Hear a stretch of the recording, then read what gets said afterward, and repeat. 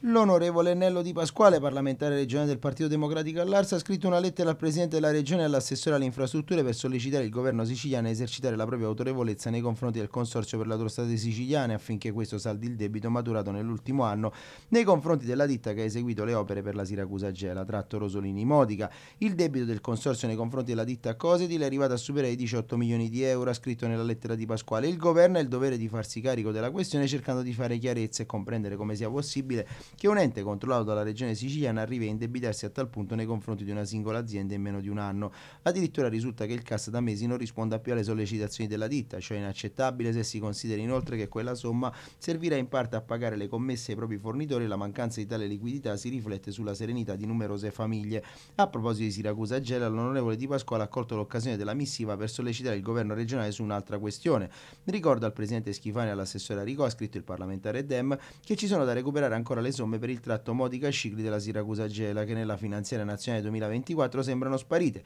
e che gli esponenti della maggioranza si sono affrettati a spiegare che erano ancora disponibili. A dieci mesi dall'ultima comunicazione in merito attendiamo ancora di sapere dove sono finite quelle risorse. È importante che da parte del governo regionale l'impegno per completare la Siracusa Gela sia concreto, ha concluso Di Pasquale.